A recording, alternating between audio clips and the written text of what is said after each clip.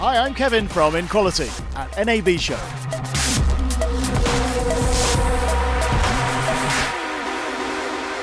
So here I am at the SIP.audio counter, and I'm going to connect these various devices through to Townsend Coleman, who's in our studio. Hi, Townsend. How are you? Yeah, pretty good. This is a Comrex Access NX, which is a little portable unit. It can be battery powered. It's got an Ethernet connection into the side. You can also do it on, on Wi Fi. Uh, this has got a SIP.audio account configured, uh, and I've connected through to you on channel one of the uh, advanced mixer there, right? There it is, yeah, and it sounds great. Cool. I'm going to swap now to the next unit, which is a Telos Z/IP One. Mm-hmm. Let me get that connected, and I'll swap the mic and headphones. Okay.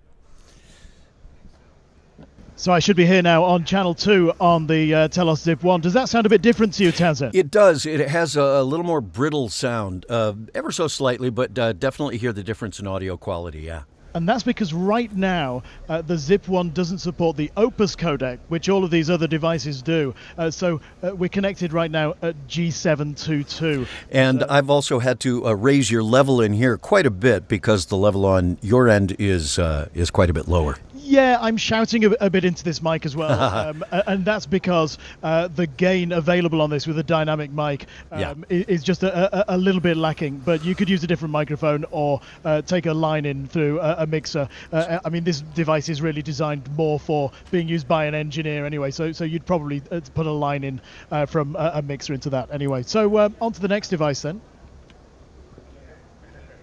This is LuciLive, and this is uh, an app which is running on an iPhone. I'm going to connect through.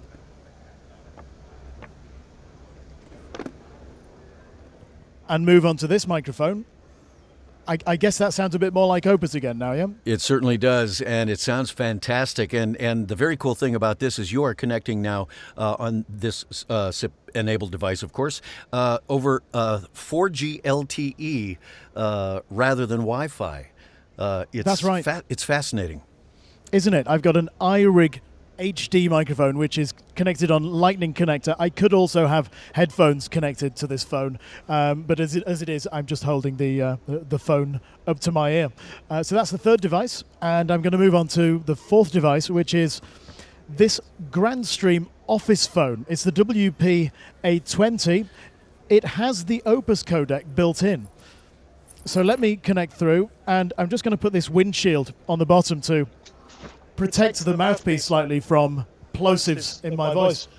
And here I am on the Grandstream Wi-Fi phone. And There you go, yeah. And again, it sounds fantastic. Uh, you're on Wi Fi. You could wander as far away from your Wi Fi base station as you could and still maintain a great connection and sound this great. Yeah, I absolutely could.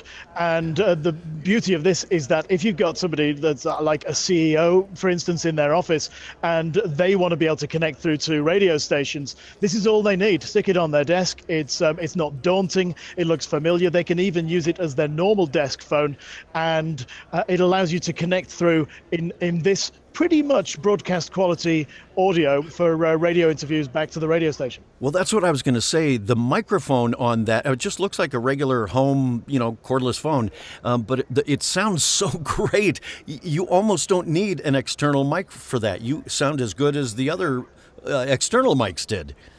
Yeah, I mean, you wouldn't use it for a voice session or for a, a radio remote, perhaps. But if you're, um, like I say, somebody who uh, connects to radio stations for, for a chat once a week, for instance, it, it's a great addition to your uh, executive features on your desk. Right, no question. Townsend, thanks for being there in the studio to find out more about how to connect these devices between each other and IPDTL, uh, go to our knowledge base at sip.audio or take a look at the other tutorial videos in this channel.